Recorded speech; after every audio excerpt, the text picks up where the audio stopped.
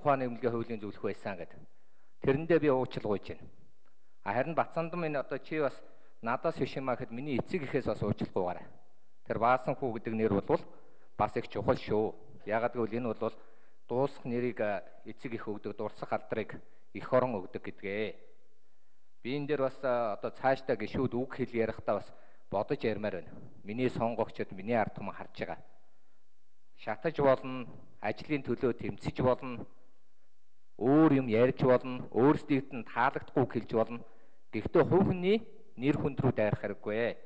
Энийг бас найз минь сайн ойлгоорой гэж хэлмээр байна. Бид хоёр залуу хүмүүс бас нэлээд цаашаа ажиллах байлгүй гэж. За дээрэс нь ер нь бол энэ хурц их ноцтой юм яриад байгаа маа. Жишээлбэл одоо юу гэдгийг хятадын тагнуулыг одоо та холбоотой асуудлыг ил болгоё гэж ярих юм. Одоо тэгээд дээрэс нь одоо энэ 6 сарын 12-нд ирсэн бичиг гэж яриад байгаа шүү дээ. Энд чинь бас л нотлоход. За би энийг бас ярмаар байна. Ягаад тэгэхээр миний нэр төрлөө халдаад хэвлэлээр бас улааран дайраад авч. Тийм учраас хуулийн байгууллага хийх ёстой юм дээр удахгүй зоригийн аллах илэрхэж байгааг аль хүртэл яриад байгаа. Тэгэхээр энэ болон захиалагч илэрхэж байгаа гэж яриад байгаа. Тэгэхээр чанга ирсэн үнэн байдгүй, нотлохотой ирсэн үнэн байдгаа. Би бол зүгээр цэргийн хүн үр гүйцэтгээд явж чинь буруу зүйл хийгээ хүний гимт хэрэгт гүтгсэн бол шоронд суух ёстой гэж бодож байгаа. Хууль усаар хүнийг ялалж барьсан бол шоронд суух ёстой гэж ярьж байгаа. А гэхдээ өнөөдөр элчин сайдаар Монголын төрн илэрсэн тагнуулаа явууллаа. Энэ хүнийг буцах ёстой. Буцааж хөөн. Энийг хөөгөрөө гэж захиалга өгөхийг би эсэргүүцэж байгаамаа. Энийг бол зөвөр ойлгоо. Энэ бол нэг би бүх хүнтэй найз.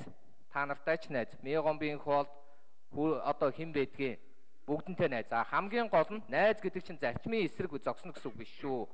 Би өнөөдөр хүр За.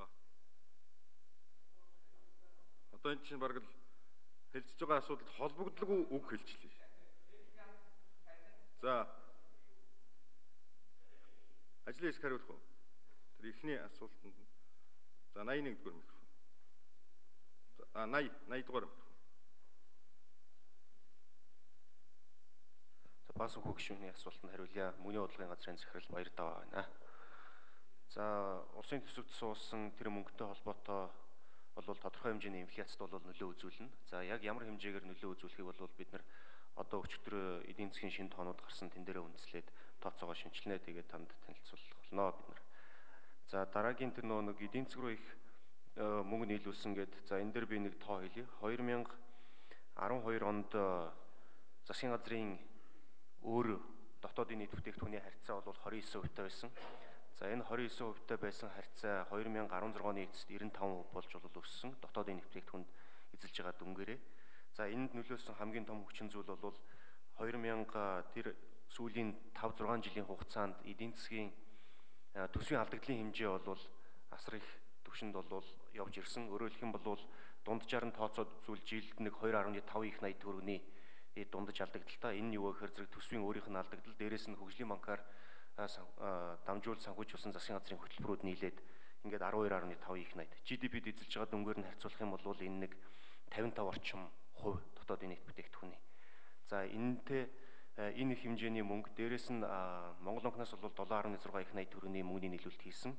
За энэний эдийн засгт үзүүлсэн сөрөг нөлөө бол өнөөдөр гадаад валютын нөөц улсын өргөд эдийн засгийн санхүүгийн чадвар бол маш дөрөө болцсон энэ зүйлээс бол үр дүн харагдаж байгаа. Тэгэхээр зэрэг эндээс авах сургамж бол юу вэ гэхээр зэрэг эдийн засаг руу мөнгө нийлүүлээд хүү буудгуумаа, эрсдэл буудгуумаа гэдгийг бол маш тодорхой харж болно.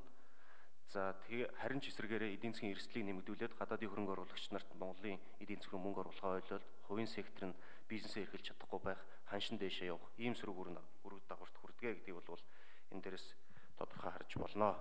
Төрүн тэрвш давг гишүүн бас гадаад валютын нөөц дээр ирсэн таамтыг бас хэлж байсан. За баярлалаа. Аяар сайхан гэж. Аа? Тэгээд за 1 минутын өгье. Гэхдээ энэ хилцэж байгаа асуудалтайгаа холбогдуулж ярил л та та. За баярлалаа. Энэ банкнаас одоо жишээлбэл байрны зээл авъя гэхээр өгөхгүй нэгэд байгаа байхгүй.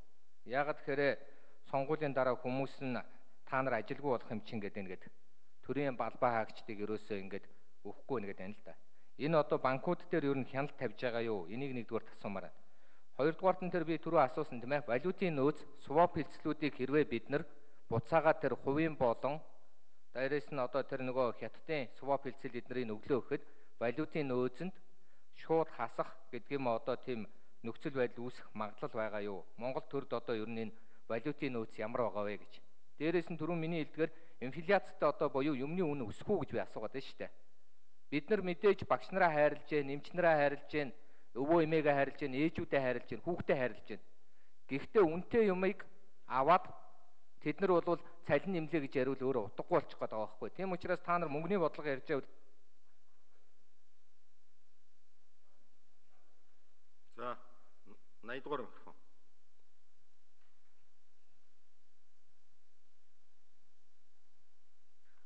Ирэх жилийн инфляцийн түвшинг Монгол банк одоогоор 8.6% та байна гэж тангал боловсруулсан байгаа. За э, валютын нөөцтэй холбоотойгоор одоо байгаа валютын нөөц 2.2 тэрбум доллар. А үүнээс Хятадын ардын банкнд төлөх swap-ын дүн бол 1.7 тэрбум доллар байгаа. За энэ бол 2017 оны 7 сард хэрвээ бид нэр төлсөн бол яг энэ хэмжээгээр бол гадаад валютын нөөц бол буурах байсан. За ийм боломж өөрөө эдийн засгт хязгаарлагдмал байсан учраас Хятадын ардын банктай хилцээрээгээд 3 жилээр энэ хугацааг бол сунгасан байна. Аюур сайхан гүшин асуулт асуу.